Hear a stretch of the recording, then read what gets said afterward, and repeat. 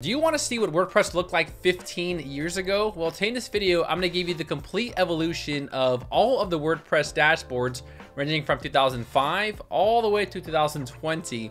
Now, back in the day, the UI was pretty awkward and uh, you're gonna see all of that today in this video. So this video was created by ThemeIsle. They are one of the old school companies. They've been around since 2012 and even in, back in 2016 I did tutorials on the Zerif Lite and also the Shop Isle theme. So for my early subscribers, you guys know I used to promote them back in the day. And they just created a new theme called Neve, which has a free header and a footer builder.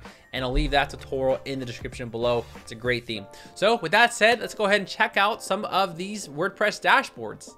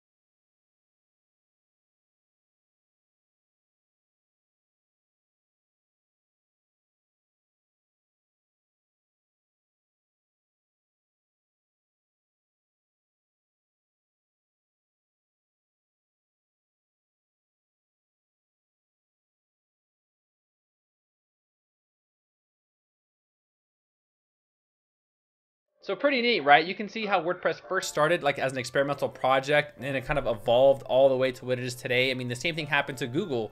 Google at first was an assignment in a college class. So the founders really didn't really plan on it. It was just sort of an assignment that kind of blew up into what it is today. So uh, make sure to check out the WordPress themes and plugins over at ThemeIsle. And I do have a tutorial using the Neve theme uh, with Elementor Pro, and I'll leave that in the description below. So I hope you enjoyed this video. My name is Darrel Wilson, and I will see all of you party people in the next video. Guys, take it easy.